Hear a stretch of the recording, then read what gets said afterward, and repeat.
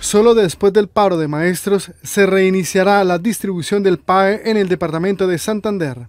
Hay razones justificadas eh, económicas del operador que debe mm, reiniciarse después del, pare, del paro programado por el Magisterio y por FECODE.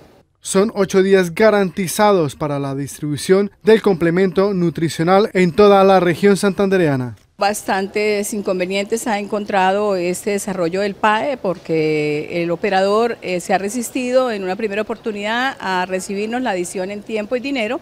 Sin embargo, habían siete días que le restaban al contrato inicial que lo debe cumplir. La Secretaría de Educación de Santander espera que el actual operador del PAE acepte un adicional en dinero y tiempo para extender la distribución del PAE a más de 20 días. Nosotros tenemos ahorita todavía la esperanza de que el operador no reciba el tiempo y dinero de los 26 días que tendríamos derecho a adicionarle, pero por ahora solo nos ha contestado respecto de los siete días pendientes y un día que teníamos todavía pendientes del contrato inicial. Se espera que en agosto se abra la segunda licitación del PAE en el departamento de Santander.